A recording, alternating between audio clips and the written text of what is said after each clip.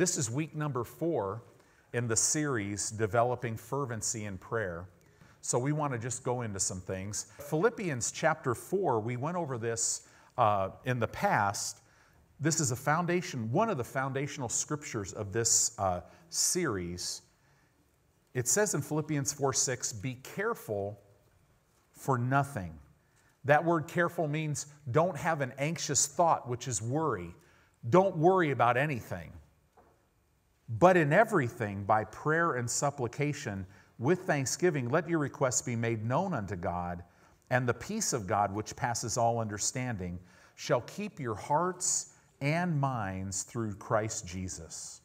So don't worry about anything, but pray about everything, right? Always with thanksgiving. And then what happens? The peace of God, which is not of this world it, it, it's way beyond anything in this world, comes directly out of your spirit, right from the Holy Spirit Himself, and it just mounts guard over your heart and over your mind. It keeps you at peace. We're going to see in having an effective prayer life, you can't be stressed and pray out of your spirit right? You'll, you'll start you'll start going a wrong direction because you'll stop you'll stop flowing with the holy spirit. You'll get into fear and your prayers will be fear-based and that'll never be scriptural. Before you know it you'll start begging god all these things that are not scriptural and god wants you to pray effectively with him. What we're talking about this series i get a sense that we're going to lay a very very strong foundation so that you can take what you're learning here and not only apply it to your life and learn how to communicate, how to fellowship with your Heavenly Father. That you can learn how to walk with Him intimately and know Him, but that you'll be able to teach others this too. Because everything with God is simple. The cookies are on the bottom shelf, so to speak. Amen? Amen. I love that. So we said this about prayer, just to get back up to speed. Prayer always brings God's peace into our lives. We learn that right from this scripture. Prayer always releases God's power into our lives, which will always bring about his miracles in our lives. Always. Prayer will always change the way that you think about yourself, about others, and about your circumstances. It'll give you a God perspective, not a natural perspective. Prayer, what is it? We're inviting heaven to intervene with the affairs of earth, right? We're inviting God to come into your situation. Whatever you're facing right now, God wants to invade it with His will and His presence. He wants you to walk out everything that He's already given you in Christ. So, very, very important. Prayer, in other words, always gets God involved in our circumstances. So, we said that. Now, let's look at, real quick, let's look at Ephesians. In Ephesians chapter 6, Ephesians is a book of incredible doctrine. But in Ephesians chapter 6, it's real interesting that at the end of this book, in the last chapter, first five chapters, Paul said a lot of stuff, a lot of big time stuff. And now in chapter 6, in verse 10, he's going to say, Finally, my brethren, this in the Greek, it literally means now to the most important thing I'm going to say to you. Basically, in the Greek, it's so strong that he's be saying, he, it would be like him standing here going, Listen, if you don't get anything else that I've said, you have to get this. What did he say? Finally, my brethren, be strong in the Lord and in the power of his might. And right there is a must for an effective prayer life. As we're going to see by the time we get to verse 18, that the whole thing that he's going to say for all these verses is to prepare you for a life of prayer. All of it is. So look at this. Finally, my brethren, be strong in the Lord and in the power of his might. You're never to be strong in yourself. In the literal Greek, it would read like this Finally, my brethren, be continually strengthened inwardly in the Lord and in the power of his might. Okay? Why do we need to do that? So that we can do this put on the whole armor of God. Literally, this word put on is the Greek word enduo. Remember, Jesus said, Listen, guys, after he was risen, he told his disciples, Don't go out and do anything. You go to Jerusalem until you be enduoed with power from on high. So, this armor that we're talking about, it's not something, this word put on, it's not like you're dressing yourself. Okay? It, it's, you don't ever want to take the helmet of salvation off, do you? Right? No. No. So, this armor, if you do a study on it, it is revelation knowledge of God's word. That's what the armor is. And how that applies to your prayer life is all of your prayer life, all of it. Our whole lives as children of God, the Word of God has to be the foundation. So it literally means be endued with the whole armor of God. Well, how do you do that? By being strong in the Lord and in the power of His might. Okay? Because what is working on the inside of us? The Word of God is the power of God, right? So let's keep going with this. Put on the whole armor of God that you may be able to stand against the wiles of the devil. That you may be able to stand. Notice the, the way this blanket statement is, is all of us are going to have to deal with the wiles of the devil. Now we know, the, and you've heard me teach on this, the word wiles, that sounds really crazy, right? Oh God, or Satan is so spooky. No, no. It literally, it's the Greek word methodeia. It means to travel down one road one way. The wiles of the devil, Satan comes against every one of us the same way. Now, what are we talking about? We're talking about how to have an effective prayer life. Because you are a child of God. You know how to communicate with your Heavenly Father. On a spirit to spirit level, you know how to flow with Him. Now, you might be sitting here going, No, oh, no I, I, I don't. No, you do. You do. You have the Holy Ghost on the inside of you. You're, the only thing that masks it is we think naturally. And we think fleshly, and we buy the lies of the enemy that we can't understand the things of God and it's hard and it's spooky and all this stuff. No, no, no. No, as we're going to see, the foundation of your prayer life is really finding out who you really are, not who you seem to be. Because tonight you might have come and you feel pretty beat up. You feel like, man, I'm a failure, like all this stuff is a mess, right? Now, I don't know who that is, but I know at least two people are definitely feeling that way.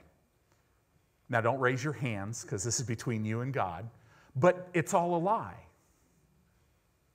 You're more than a conqueror. That's what the Word of God says. So let's keep going with this thought. Just hang on to it right now. You guys are all kind of looking at me like, what in the world is he talking about? Put on the whole armor of God that you may be able to stand against. This word against, it literally means stand face to face with the wiles of the devil. He's traveling down one road, one way, and the word devil exposes exactly how he comes. The word devil is the word diabolos. Dia. Dia means to penetrate through to the other side of something. How does he penetrate through? By abelos, by throwing something blow after blow after blow after blow. Well, you know, if you do a study, it's real clear in the New Testament, Satan throws thought after thought after thought after thought to try to penetrate your mind so that he can, it's the Greek word noemata, so that he can do mind games and scramble your thinking. This is what messes people up in prayer so many times. So the Bible says, Be strong in the Lord and in the power of his might. Allow the whole armor of God to manifest upon you in the literal Greek while you continually draw from his power so that you can stand against the wiles of the devil. Okay, so are, we, are you tracking with me? So let's keep going.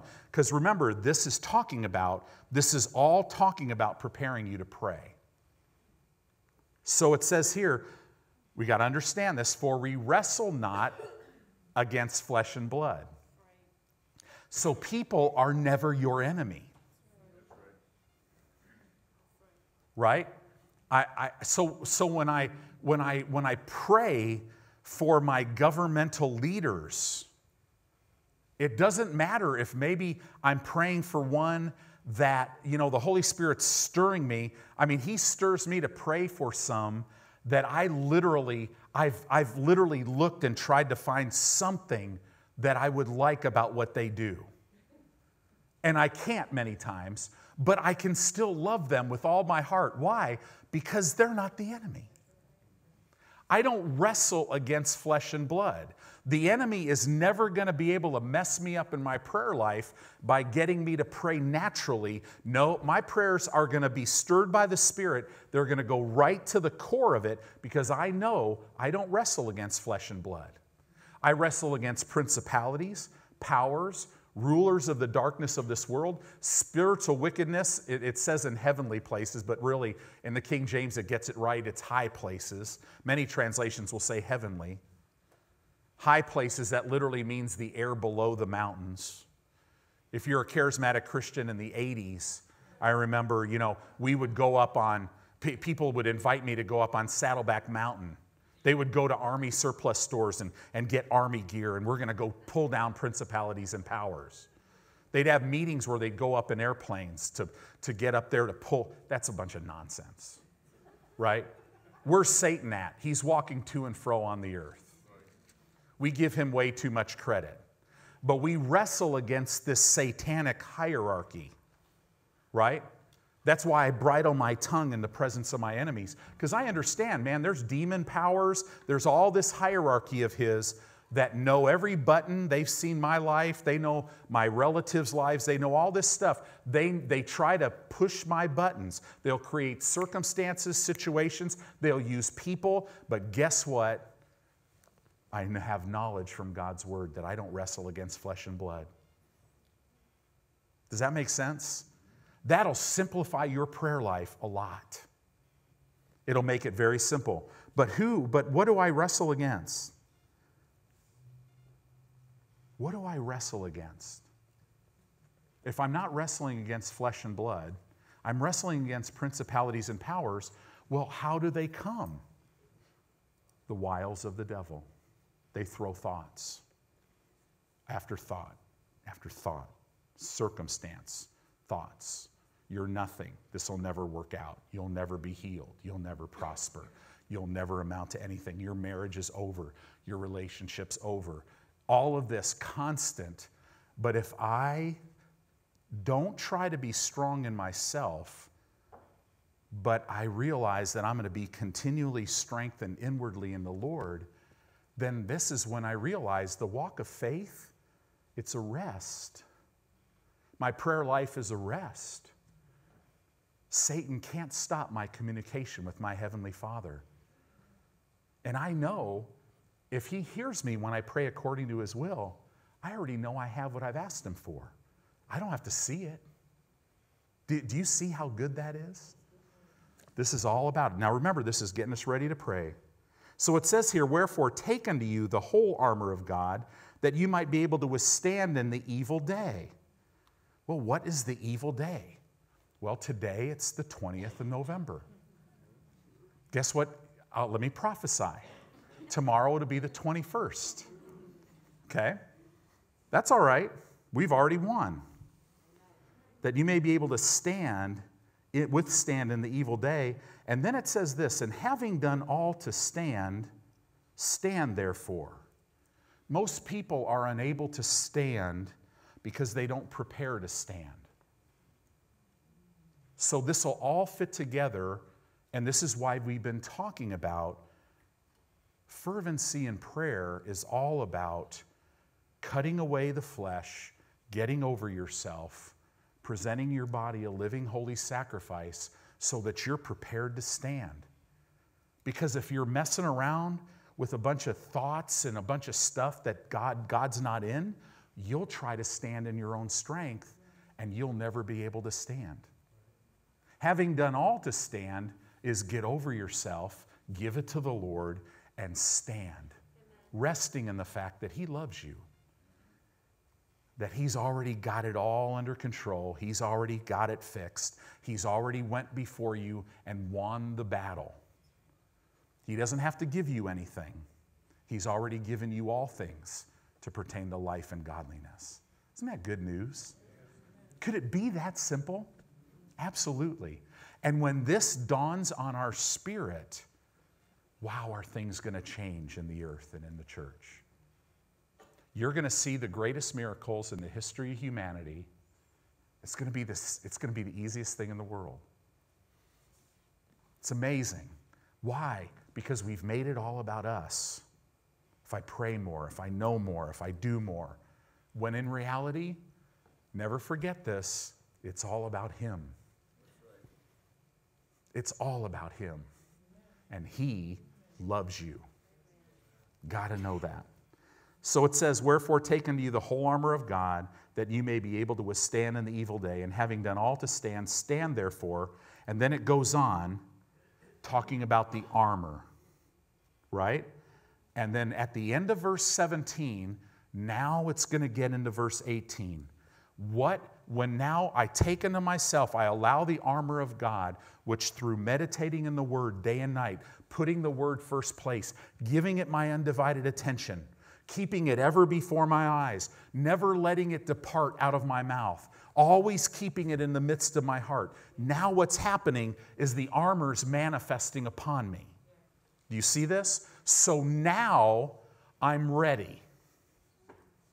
And now, verse 18 praying how often? Always. Philippians says, don't worry about anything, pray about everything. Praying what? Always. With all prayer. The Amplified version says this with all manner of prayer. They bring out the Greek very well. All manner of prayer. We'll get into that because there's different types of prayer. There's nine different types of prayer. And we, and we want to pray effectively, right? With all manner of prayer. And look at this as we keep going in the Spirit. I love Weymouth's translation. It's a New Testament translation. Weymouth's brings out the Greek. It doesn't say in the Spirit, it says stirred by the Spirit. Your whole prayer life is to be orchestrated and stirred by the Holy Spirit. You don't see, He orchestrates it. Your whole prayer life, in order to be effective, is He's got to stir you to pray. Have you ever tried to pray for something and there was no stirring there? That's no fun. The more sensitive you get, the more you realize there's no stirring. When you're learning some of these things, you'll just try to push it through, right? I've been the master at that. I remember when the Lord told me one time, He said, Tony, ministry is very hard when you're working and I'm not working. Now, because He's so uplifting, you're just like, yeah, I know. You know, and I saw myself just beating my head against the wall, always wondering why it wasn't working out. So good.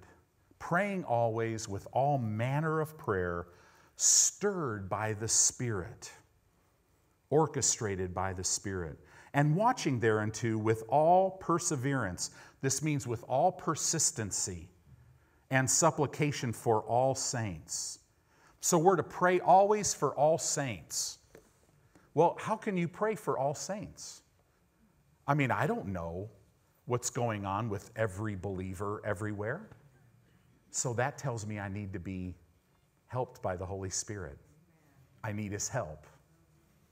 In other words, this whole teaching on how to have a, the foundation of an effective prayer life, give it up. We need His help.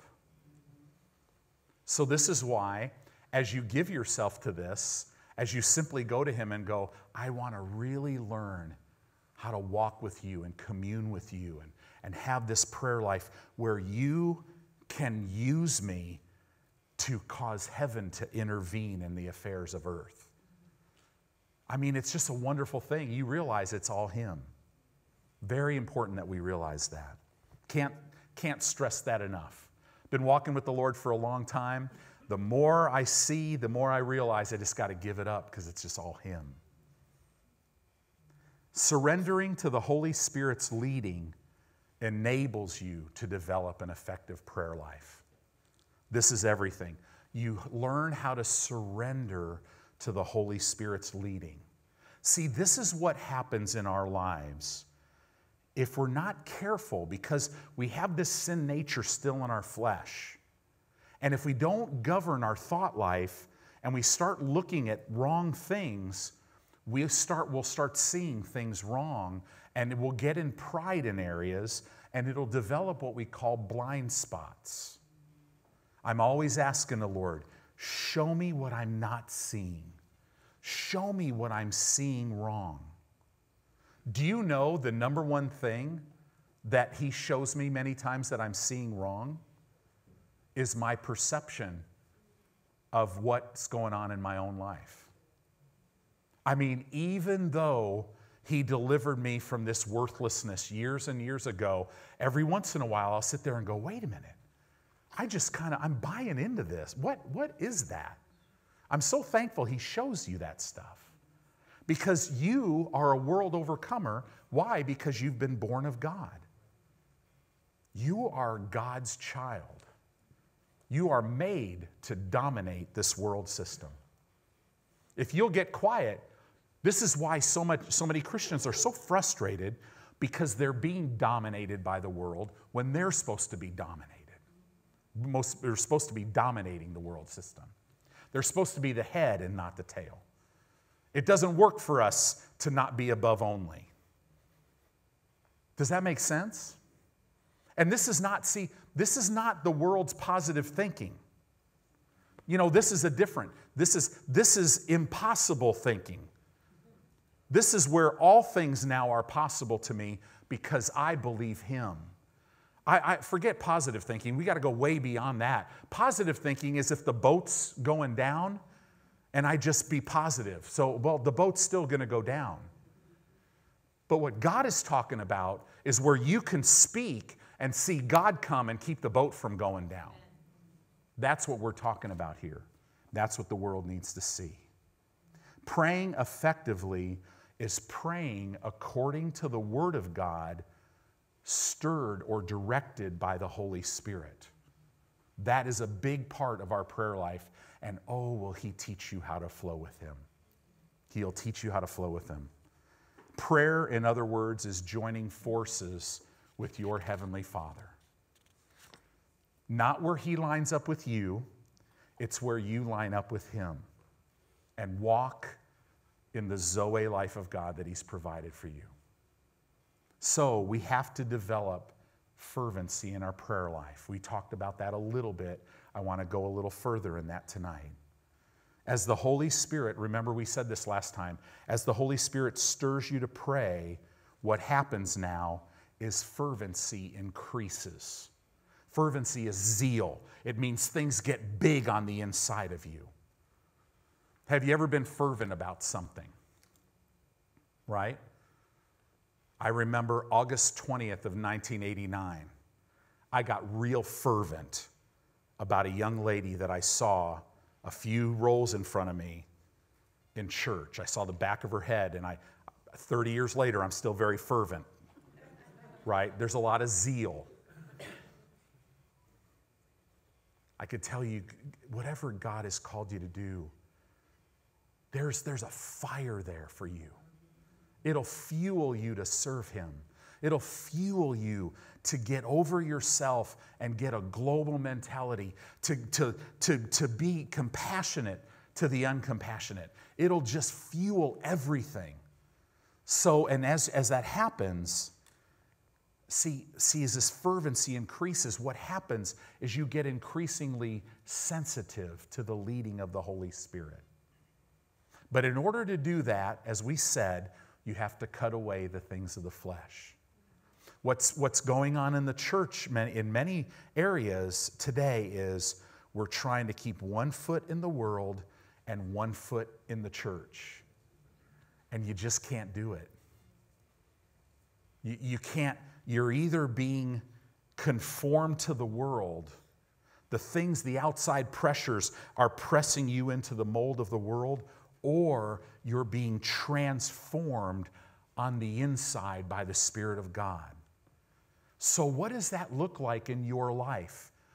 Nobody, uh, no other Christian, no pastor can tell you what that looks like. You have to find out what that looks like. How? By letting the Holy Spirit leading you and always saying yes to Him. For somebody, they might be able to do this thing over here and it's fine, but for another person, no. Right? Whatever that is. There are times when football is a great thing in my life. There are other times when football would be disobedience. How do I find there here's a big one. So, as a pastor, I never really know what I'm going to study. So, I'm doing this series on prayer, but what if the Lord wants to talk to me about something else? Guess what? It'd be disobedient for me to study the word on prayer if He wants to talk to me about the grace of God. Right? What are we talking about? We have to work out what He's working in. And there's freedom in that. See, you might think you know how to fix things in your life, but the Holy Spirit knows exactly how to fix them. You might think you need to go this way, but the Holy Spirit's going, nope, you come this way, right? I, I mean, we just don't know. So, this is why we can't work out anybody else's salvation.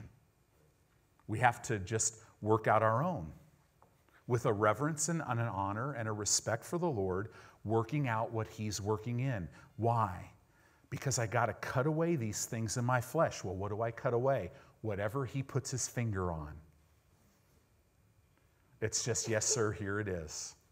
Your flesh hates it, your spirit loves it. Your spirit will love it because your spirit just wants to know Him. Your spirit knows it's all okay. Your spirit man's at peace, knows the word's true.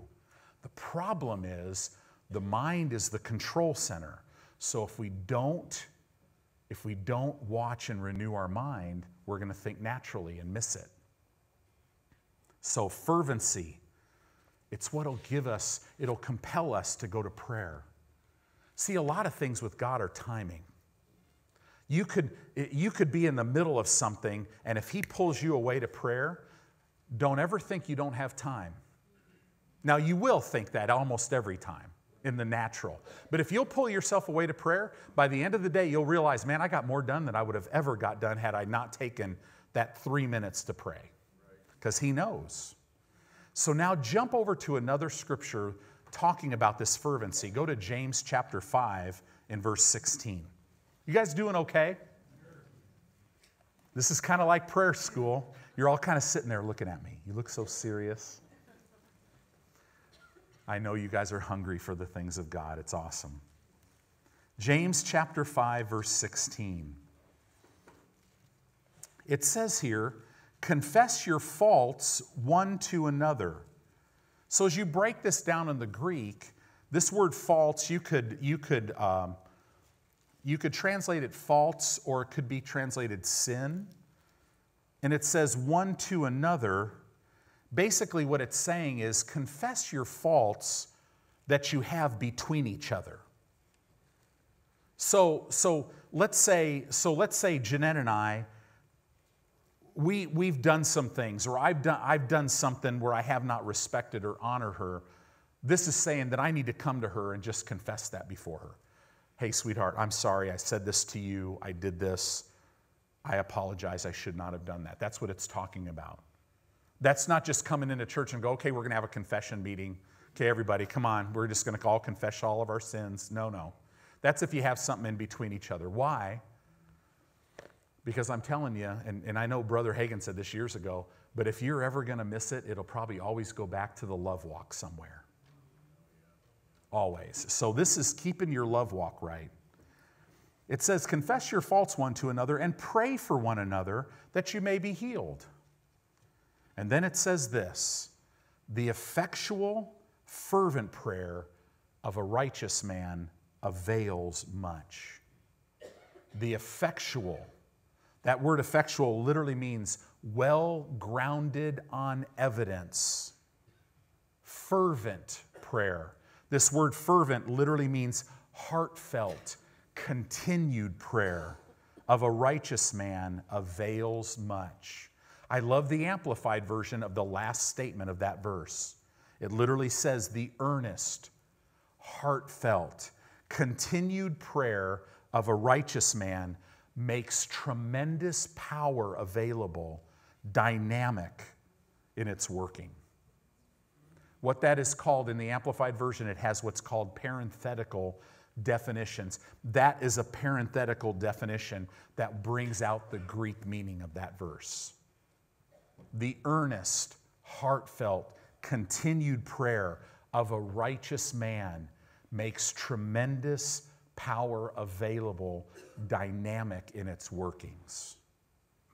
See, many times our prayers lack the depth that heaven requires. Why?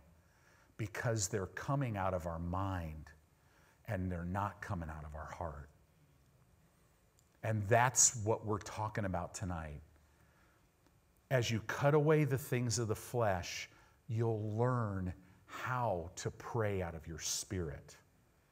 Because many times our prayers are so shallow, there's no faith. By shallow, I mean there's no faith in them. And it's because it's coming out of our mind. It's coming out of this mental assent. It's not coming, it's coming out of a sin consciousness, not a righteousness consciousness. This is so important. See, when our prayers come out of our mind, we'll pray incorrectly. We'll pray out of line with what the Word of God says. And we don't want to do that. See, when we do this, when we pray this way, the earnest, heartfelt, continued prayer of a righteous man makes tremendous power available, dynamic in its working. When we pray this way, what that does is it brings this incredible, overwhelming awareness of God's presence in my life. That I know when I'm speaking to Him, He's hearing me, which automatically means I have what I've asked Him for. And nobody can ever talk me out of it because I know him. I know he's not a man that he would lie. He's not the Son of Man that he would change or repent. If he says it, he'll do it. If he spoke it, he'll bring it to pass. So, this is a huge principle. As you pray out of your spirit, it brings an incredible awareness of God's presence in your life. God wants us to live under the influence of his divine nature. The Christian who grows in this, you're not stressed anymore. You're not trying to, you're not trying to be successful. You already know because you're born of him, you're a world overcomer, and in him you already are successful. So, so circumstances and situations in my life, I laugh at you because you're all going to change and come in line with the Word of God. I'm not trying to get healed because I am the healed. And now, all sickness and disease, you got to bow to who He is as my healer. Poverty and lack, I'm not trying to be prosperous. I am prosperous as a child of God. So now, all poverty, all lack, you have to bow to who I am in Him now. See, I have this incredible awareness of who I am. In other words, I'm a John 15, 7 believer. I'm abiding in him, and his words are abiding in me. So now I'll ask whatever I will because my will is lined up with his will, and he'll, he'll do it. My, my heavenly Father, my Lord Jesus, they're watching over their word to perform it. I love that. The Holy Spirit is on the inside of me. He's here to reveal truth to me, to bring revelation knowledge of who God is in my life. Because as I see who He is, I get to know who I am in Him. And now I'll never buy the wiles of the devil again. Do you see that? This is a beautiful thing. I love prayer because it's all about knowing Him. It's so hard to teach on prayer. Because I just, I could sit up here and just cry. Because I mean, who am I? I'm just Tony who was lost and dead in my trespasses and sins. And the God of heaven came looking for me, made me brand new on the inside, put his spirit in me. Everything he's done in my life is so that I can know him. So now, far be it from me to shoot any lower in this life. I'm not going to take any less than what he's given me. Why? Because this, I'm, all, I'm already okay. I'm set for eternity. Right? I'm, I'm, I'm set. So now I'm free to live to show the world who He is. And boy, I'll tell you, as you get really into praying for the needs of others and stirred by the Holy Spirit to pray for others' needs, knowing all the time that while you're in this inner court, just talking to Him about how, he, how to help other people, He's in the outer court in your life working it all out for you. Right? It's the way it works. Hallelujah. Hallelujah. We must ask God to bring revelation to our hearts. How does revelation come? It comes only by the Holy Spirit. We must ask the Lord to bring revelation to our hearts of what? The principles and the mechanics and the spirit of prayer. We, need to, we, we can't just understand this with our mind. We have to comprehend these things with our spirit. We need revelation on the principles, the mechanics, and the spirit of prayer. Okay, this, just I would write that down, and, and as you grow in this, that will mean more to you. So we said this, Romans 12, 1 and 2. You know, if you'll notice, I'm kind of doing a review, then some new stuff, and then more of a review and some new stuff. So we're kind of, I'm kind of, it's like a crossover dribble kind of like sermon tonight, right? Whatever that means. Romans 12, 1 and 2 tells us how to develop fervency in our prayer life.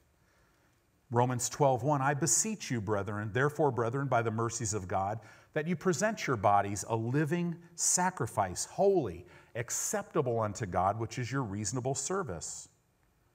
We said this when we mentioned this verse you yield your body as a living sacrifice. To do that, you have to know who you are in Christ and then you have to reckon yourself dead to sin, which is your reasonable service. Reckon. That word means you have to count it to be done what is already a finished and established fact in your life. As you sit here tonight, you, as a child of God, if you're born again, you are dead to sin. Your spirit man couldn't sin, it can't sin. Now you might be sitting here going, Are you kidding me? I just, on the way here, I sinned. Guy cut me off and I said this adjective. No, no, no. No, your spirit didn't do that. No, your, you basically, because of a lack of allowing your mind to be transformed by the renewing of, from the, with the Word of God, sided with the sin nature in your flesh, and you acted out of your flesh. You did a sinful or unrighteous behavior, but not nature. You don't have a sin nature. Boy, the Judaizers would follow Paul and say, Listen, don't listen to this guy. He's given everybody a license to sin. But the reality of it is, nobody needs a license to sin. Right? Now, does that mean a Christian can do anything they want? Well, if that's where you're living at, you're shooting way short. Because, see, holiness, which is your lifestyle and your behavior, it flows out of righteousness, which is who you are. So if you live out of your spirit, you will not fulfill the lust of the flesh. So, if that excites you that now, man, I could go home and flesh out, Pastor Tony told me, it just means you're living out of your flesh. We need to get over this stuff. See, Paul taught this. This was a huge thing. I mean, people are still getting all upset about this hyper grace message, right? Like we really understand all that there is to know about grace. Oh, brothers and sisters, wow. The grace of God is so far beyond what we could even think. But I'm telling you that reckoning yourself dead to sin, knowing who you are in Christ, is the road for you to walk holy before Him. If you don't know that you're dead to sin, if you still think that sin is dominating you, guess what you will do? Sin. And it'll bring death in your life and it'll, it'll mess your thinking up and it'll just, it'll keep you from fulfilling God's plan. Do you ever notice when you turn away from sin how instantly there's forgiveness for you? You know why? Because all of your sins are paid for. See, we're talking about the difference between positional truth and temporal truth, something that's never taught, but if you don't understand it, you'll never understand most of what Paul wrote. Positionally, I'm seated with Christ in heavenly places. Temporally, I'm standing at Faith Family Church teaching you. Positionally, I'm seated with him. Positionally, I was crucified with him. I was buried with him in baptism. I was literally raised to newness of life, positionally. Temporally, so if I sin, what am I really doing? It's sinful behavior, but it doesn't change my nature. It doesn't change anything about my relationship with God. And when I understand that, I'll be able to walk free from sin. It's even hard to preach. I mean, as I'm saying that right now, oh my goodness, I'll probably get some wonderful emails. That's all right. Bring scripture, right? You yield your body by knowing who you are in Christ, and then you reckon yourself dead to sin, which is your reasonable service. This is how I present my body a living sacrifice. This is how I live a sanctified life a life that's set apart for the master's use. A Christian should look nothing like the world.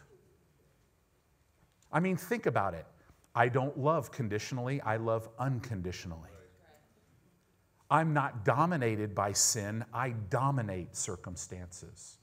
I, I, I'm able to literally walk and move and live in Him. I operate in the faith of God where all things are possible. There's nothing like my life that looks like the world. So when I realize that's who I am, my lifestyle will look nothing like the world. Go to a restaurant and sit and listen to people sometimes. Every one of them are talking about somebody else, judging, gossiping, but they won't come to church because of all the hypocrites that judge and gossip and talk about, right? But in reality, a Christian should never judge, should never gossip. Or, or a, a Christian, man, I look at an alcoholic and I under, man, brother, I could tell you, I, I never drank one drop of alcohol, and I know exactly how an alcoholic becomes an alcoholic when an alcoholic might not know that. Right? I don't have a sexual addiction, but I understand exactly how it happens a thought is thrown. And then I give that thought place. And then pretty soon I start speaking that thought and thinking about it. And then all these little principalities and powers, they get a vain imagination going in my mind. And then all of a sudden, I'll start walking it out and my behavior comes. See, I understand all this stuff as a Christian, but I'm nothing like the world because I'm a child of God. And I'm here for this short time to bring heaven to this earth, to leave a fragrance of the knowledge of God everywhere that I go. And that knowledge of God is that not that God's going to get you, that God loves you, that God's not moved by your sin, that God already dealt with your sin and right now is not even not even holding it against you. I remember decades ago in a Mexican prison 75 guys in a cage that were the most violent people in this state prison in Tijuana. And I was telling them about literally how that Jesus is not holding any of their sins against them. I mean, I didn't even understand really the depth of what I was saying. It was coming right out of my spirit. And you could see hope. But doesn't it say that? That God was in Christ reconciling the world to himself, not imputing their sins against them? Didn't it say that Jesus on the cross literally died for the sins of the whole world? I don't know why I'm getting off in all that, but it'll help you in your prayer life because you'll see who you are. See, Satan tries to ignite your flesh for the purpose of you not being a living sacrifice. But you can't stop with Romans 12:1. You got to know how to present your body a living holy sacrifice. That is told by us in Romans 12:2. Don't be conformed and be not conformed to this world, but be transformed by the renewing of your mind. Why? That you may prove what is the good, acceptable, and perfect will of God. See, reading God's word, we said this a little bit, but reading God's word is not enough. You must renew your mind to God's word. That means you got to have revelation knowledge in your heart, which is communicated to your mind, so that the word of God can now renew your mind, rip out all that old thinking stuff and replace it with what the way God thinks. This is so important. You got to get God's word down on the inside of you so that you can reckon yourself to be who he says you are instead of what the world is trying to tell you you are. The world will tell you you're weak, you're broke, you're sick, God will tell you you're whole, you're free. That's why people, the Word of God says, let the weak say they're strong. Let the poor say they're rich. Why? Because this is a truth. Jesus was made poor that I, through his poverty, might be made rich. Does that make sense? So we think in line. This is so important. Paul is talking about in this scripture, as we said last time, he's talking about a progression of walking out the will of God for your life as you renew your mind to his word. So important. So it's the difference. Are you letting the outside press you into the mold of the world, or are you letting the inside from the Holy Spirit transform you? That's the difference. This is a foundational piece to an effective prayer life. You have to, you have to not being pressed into the mold of the world. Because if you're pressed into the mold of the world, this is what will happen every time. You'll lay hold of something, and then a little time will go by, circumstances get a little worse, and you'll let it go. Because I don't deserve it, it doesn't work, I just let it go. Versus the other person who's going, No, I know, let every man be a liar, but let God be true, right? His word is true, and I'm not letting the outside dictate my life. God's word dictates my life. So I'm not moved by what I see, I'm not moved by what I feel, I'm moved only by what He says. So now I can pray. Impossible situations look possible to me. I could come into a person's life who's broken and hurting and who the enemy has beat up, and I could fill that person's life with joy coming out of me because I could say, Listen, all things are possible to him who believes. There is a future for you. And that, my friend, is how you pray effectively for people, starting with yourself, for situations, for circumstances. You got to get this one right.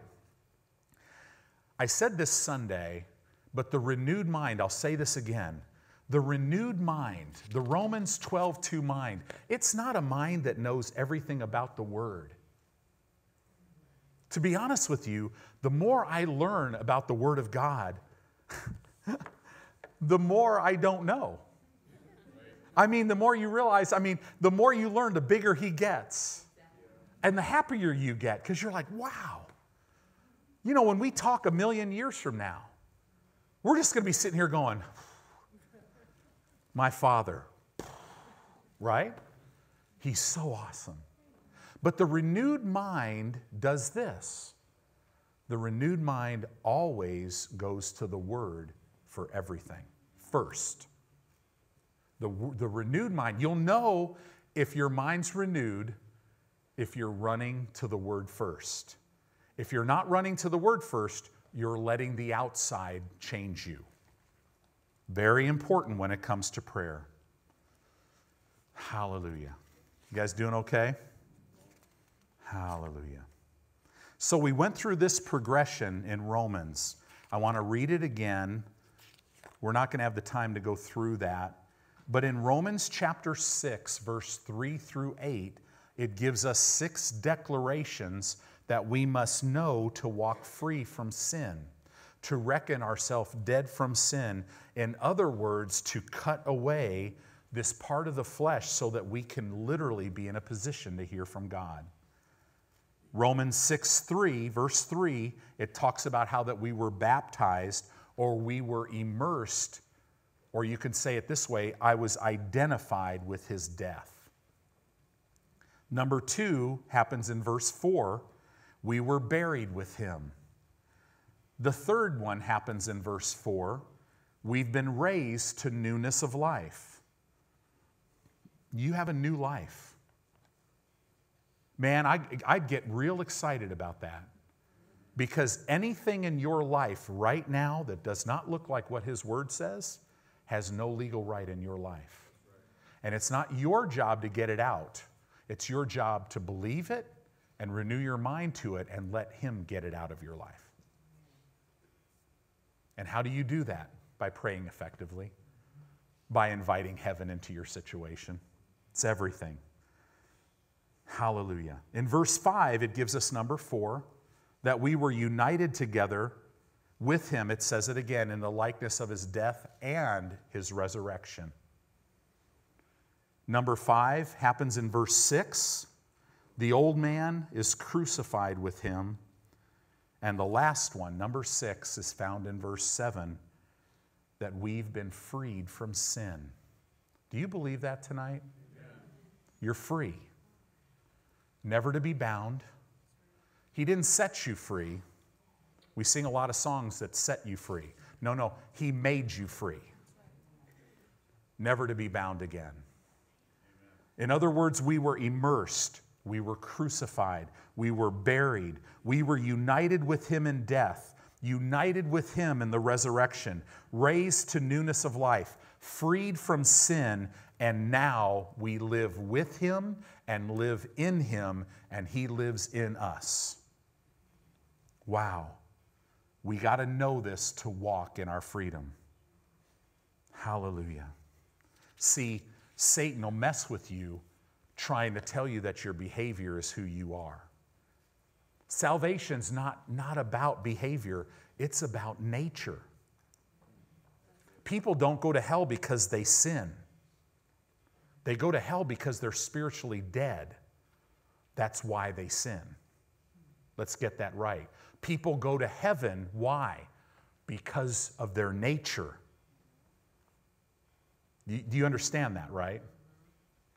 We're a new species. In other words, yours and my right to everything that Jesus gave us literally is all Him. It's not your behavior. It's not what you do, it's what He did. When you realize that, it'll cause you to fall in love with Him in ways that you never dreamed possible, and things will fly off of you. And you'll start to see who you really are. Adam's sin governed his family. Adam's sin caused sin and spiritual death to, to reign over the old man because we were Adam's seed. Jesus' sacrifice, though, received by faith, causes righteousness to reign over our new man because now we are Jesus' seed. Does that make sense? Jesus' sacrifice governs his family. So now, when the enemy comes to you and says, You don't have what you need, You don't have what you need to be healed, to prosper, all this stuff, to walk free, to walk in victory. What do we do? We point to Jesus because it's all in Him.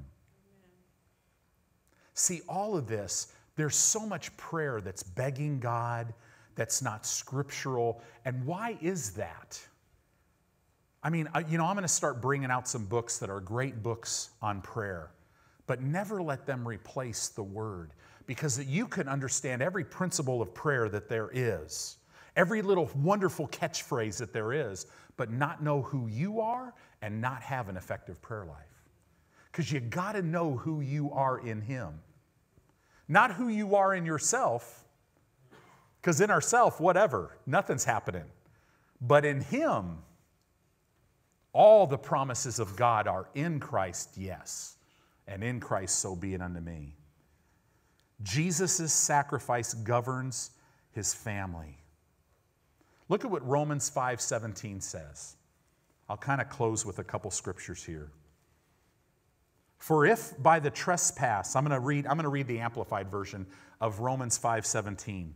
For if by the trespass of one, Adam, death reigned through the one, Adam, much more surely will those who receive the abundance of grace and the free gift of righteousness reign in eternal life through the one, Jesus Christ. Wow. Knowing that Christ, being raised from the dead, dieth no more, death hath no more dominion over him.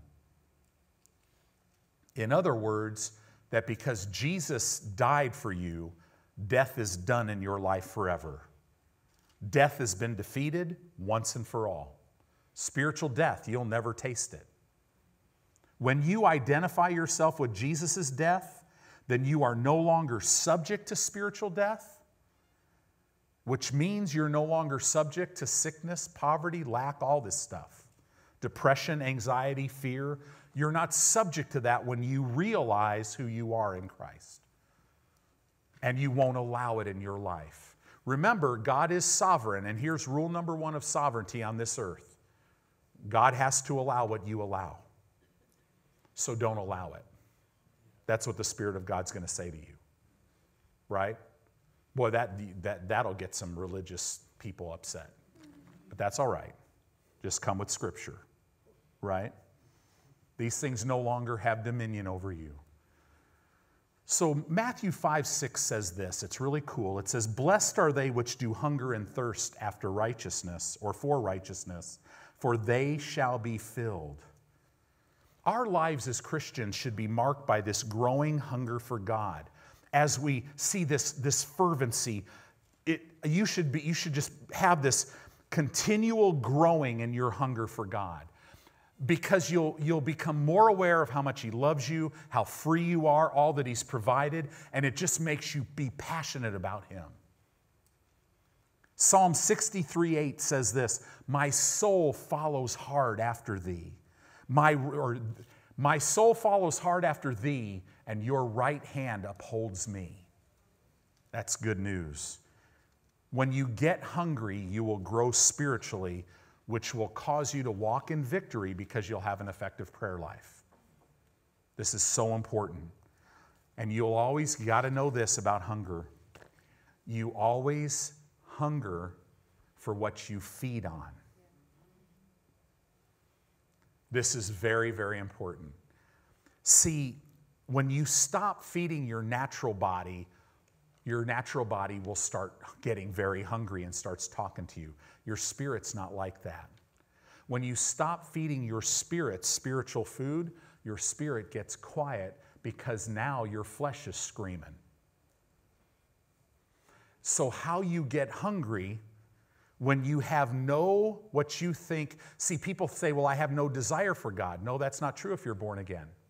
You have a desire for God, you just don't have any feelings that tell you you're having a desire for God. Well, how do I get there? All you got to do is make a decision and start feeding on the Word. Start getting up in the morning, spending time with Him. Your flesh will scream at you. You don't understand what you're reading. You're not getting anything out of this. You need to stop this. Then you do it at noon. Then at night, day one, day two, it's brutal. Day four, you're starting to, all of a sudden, you, you feel like a little hunger pang for God. Day eight, wow, you get up kind of hungry now. Day 30, you're hungry all the time. Day 60, you're a wild man like me. You, you, start, you start looking at your life. You're like an addict. I'm like a word addict. How can I spend more time with Him? How can I get all this other stuff out of my way so I could just turn everything off and just be with Him? Why? Because you feed on it. See, what's the difference? I'm going to leave you with this one. What is the difference between a person that prays and a person that doesn't? Is it their love for God? Nope. They're thinking that their feelings are their desires, but that's not true. Your desires come from God. The word desire means of the Father. But you're just letting the feelings of your flesh, because of what you've been feeding on, make you feel like you don't want to pray. Oh, you could talk about God for hours, but talking to God after 30 seconds, you're like, this is boring. Right? Or you think you're deep in intercessory prayer and you look at your clock and you've been praying for two and a half minutes. But here's the difference. If you will make a decision, this is all it is, to separate yourself to pray, the desire which is already there will start working in because it's already there and it'll start coming up. The only difference between those that don't pray and those that pray is the ones that don't pray don't set, they don't set themselves aside to pray. The ones that do pray set themselves aside to pray. So now talk to talk to people that really set themselves aside to pray. They want to pray all the time. They join prayer groups and they read books on prayer and they, they just they can talk about prayer for hours. Why? Because they just have made a decision to set themselves aside to pray. Could it be that simple? It is. And we'll go through a lot of scriptures about it, but you could change your whole life by just changing the way you think. Do you know, do you want to have joy in your life? Everybody's way, I just want the joy of the Lord. So I just, let me just listen to another worship music. Let me go to another concert. Let me just, no, no, just man will have joy by the answer of your mouth. Now, could you get there in a concert? Yeah, but while you're at the concert, declare who you are. So go to the right concert where they're declaring the word, and you start declaring, Father, I thank you that your joy is my strength, and I have joy. And pretty soon you're like, whoa, there's joy. The Bible says you'll have joy by the answer of your mouth. The Bible says a lot about if you'll separate yourself, then this is where the desire to do these things comes from. It's all there. The Bible will talk about if you feed, you'll get hungry. So it's all up to you. And man, I'm telling you, if you leave here with nothing else tonight, and I think we've kind of laid enough of a foundation now where we could really get into some stuff realize you are created to be united in fellowship and intimate communion with God 24 7 for all eternity. It's awesome. Every, every revivalist that I've ever read after, Finney, Wigglesworth, Lake, I mean, I could go right down the row. Every one of them said at the end of their, at the end of their ministry, at the end of their life, they wish they would have prayed more. Why? Because the more you give yourself to God, the more you live out of your spirit, you see who you are because you see who He is, and it all flows. And pretty soon, I'm meditating in this word and I know the voice of God. And I'm just, I'm seeing His written word. And then all of a sudden, when He talks to me about the specific things of my life, I know His voice because I already know it. And I know, and He just leads me and guides me. And pretty soon I'm living Acts 17, verse 8. It's in Him that I live and move and have my being. Amen?